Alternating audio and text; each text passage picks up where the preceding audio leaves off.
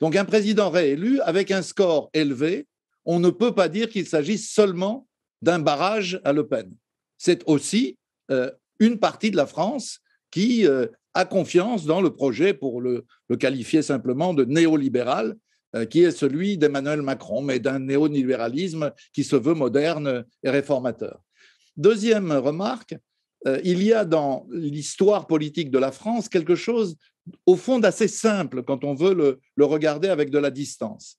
Euh, la mondialisation et la politique néolibérale a produit, euh, en France comme ailleurs, euh, des effets tout à fait délétères sur la société, avec une explosion des inégalités sociales. Ce n'est pas la peine que je vous l'explique, vous le vivez vous-même dans le Maghreb, y compris au Maroc.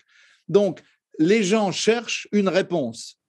Et il se trouve que la gauche française, comme disait Guy Mollet à l'époque des guerres coloniales d'ailleurs, est la plus bête du monde et qu'elle s'est présentée à nouveau désunie avec une bataille entre mélanchonistes, communistes, socialistes en, déclin, comme les communistes, euh, écologistes, mais qui ont du mal à percer.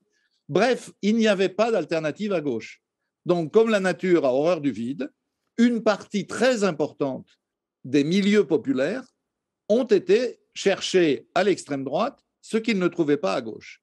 J'observe, c'est très important parce qu'on n'en a pas fait état pour l'instant, que le parti de Marine Le Pen, je le regrette personnellement comme démocrate, mais le parti de Marine Le Pen est aujourd'hui le premier parti ouvrier de France, le premier parti employé de France, le premier parti des petites villes, pas des grandes villes, des petites villes.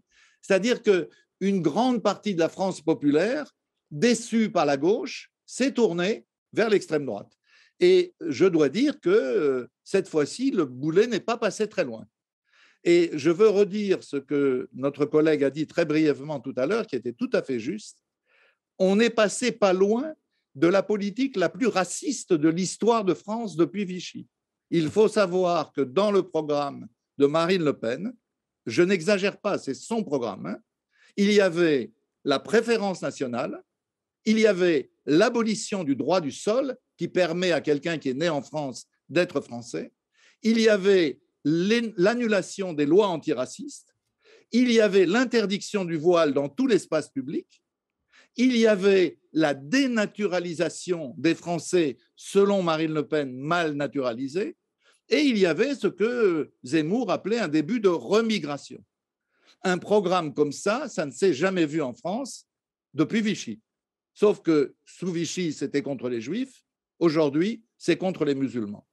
Et donc, je crois qu'un des principaux problèmes de la France vis-à-vis du Maghreb, ce ne sera pas seulement l'équilibre entre Algérie et Maroc, la question du Sahara, etc. Non, ce sera comment conjuguer une politique qui soit humaine, juste, conforme aux principes de l'ONU vis-à-vis de Français issus de l'immigration qui ont après tout les mêmes droits que les autres.